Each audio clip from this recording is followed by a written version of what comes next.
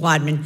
I've got a number of questions so here. So please, if you could uh, briefly discuss how the Jobs Act of 2012 has helped American companies and startups reduce costs, gain access to capital, and grow as public companies.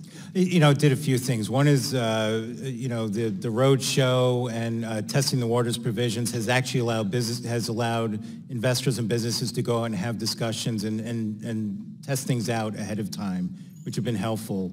It has also allowed for certain on-ramp provisions to allow companies to grow into certain disclosures mm-hmm. rather than to having to have the burden of, of the cost right up front.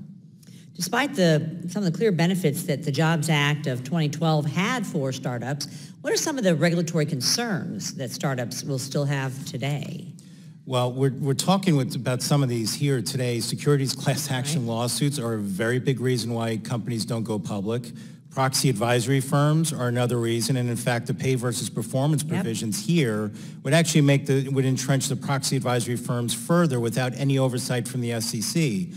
Um, there have also been some auditing issues coming out of the PCOB that have caused some problems, but those three things combined um, are amongst the reasons why we're not seeing uh, businesses go public.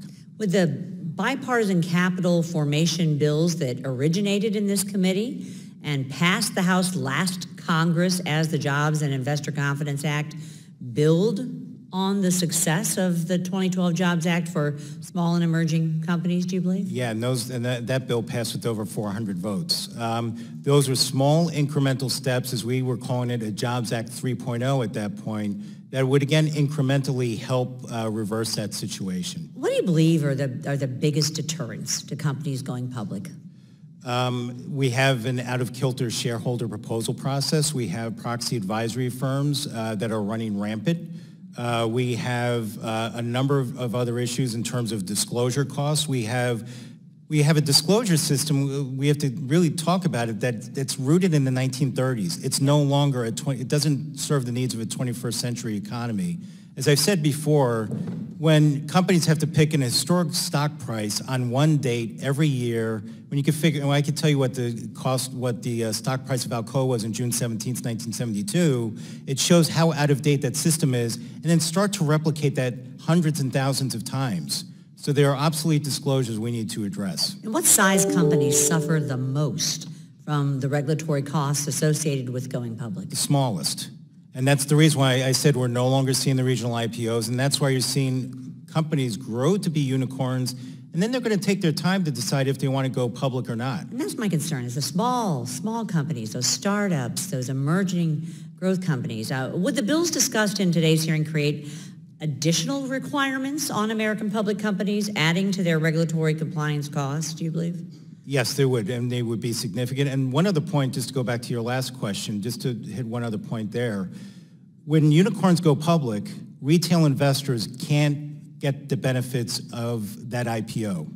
It was the smaller IPOs that allowed the retail investor to reap the rewards. That's why you saw, you know, people, everyday people, uh, getting wealth distributed their way. Um, we're now seeing a closed system where certain large investors reap the rewards, and the retail mom and pop investor is left in the dust. As everyone knows on this committee, and, and uh, I certainly have expressed over and over again uh, uh, through the Reg BI uh, uh, proposal and uh, the, the, long fiduciary struggle we have been through between the SEC and the Department of Labor, I care deeply about those low and middle income investors in my district and, and, and across, across the country. So um, non, none of, of the proposals discussed today would apply to private companies. So would these increased compliance costs for public companies deter private companies from going public? Yeah, private com- those private companies won't go public. And I think what we have to recognize, we still have the gold standard when it comes to public capital markets, but we're beginning to fall behind uh, both Chairman Clayton at the SEC and even uh, Chairman Duhnke at the PCOB are trying to address these issues, but it's very important for Congress to set the appropriate policy objectives that we start to reverse these trends. And, and to go back, just put a fine point, you know, how does a company going public not only benefit the economy in terms of jobs, but also America's main street investors? Correct. Um, well, one of the things that we're also seeing um, with this calcification of the IPO process, 50% of all business startups now are are occurring in 20 counties, representing 17% of the American population. Wow. Thank you. My time is expired. I yield back.